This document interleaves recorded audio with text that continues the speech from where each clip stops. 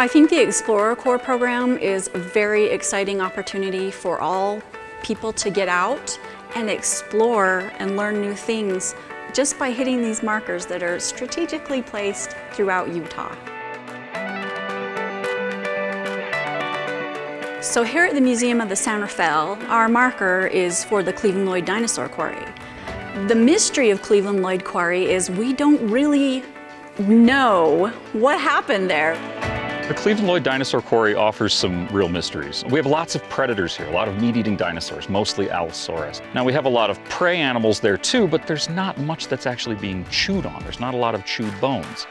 So why, why do we have this weird assemblage? Why do we have a three to one predator-prey ratio? It has so many bones in such a small amount of area.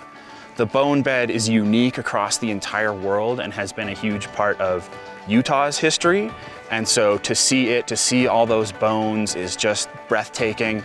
If you're into dinosaurs, that's like the coolest thing ever. That's as close as some people will ever get to being in a dig.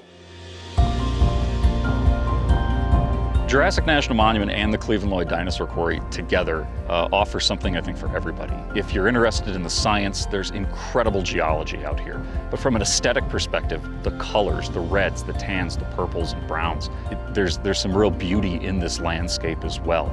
And then the site itself offers more. There's landscape to walk through, there's other types of fossils to look at, there's trackways that people can observe. By coming out here and experiencing the geology both, both scientifically and, and aesthetically and understanding the history of the life in this area kind of brings you a little closer to this really unique corner of the Jurassic period. So if you get into the Explorer Corps experience, um, you're going to see 29 different sites. Our site is just one of them and I think everybody is looking for adventure right now and what better way to get out and explore than doing this passport through these wonderful historical markers that are in every county in the state of Utah.